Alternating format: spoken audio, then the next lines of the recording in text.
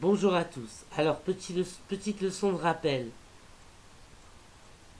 C'est quoi la halakha On l'a étudié, la halakha. La halakha définit qui est juif et qui n'est pas juif. Voilà ce que c'est que la halakha. Alors, que la mère transmette la judaïté, on pense que ça remonte à Moshe Rabbeinu. Parce qu'apparemment, à l'époque de Moshe Rabbeinu, c'était déjà comme ça. Maintenant, l'origine, on ne sait pas. Euh, pourquoi?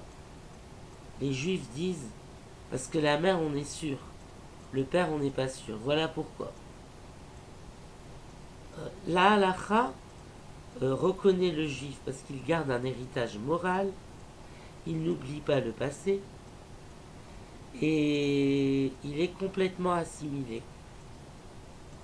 Ça, c'est la halacha.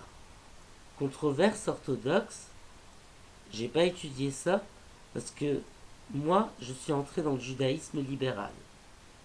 Mais la yeshiva, j'y ai, ai euh, assisté.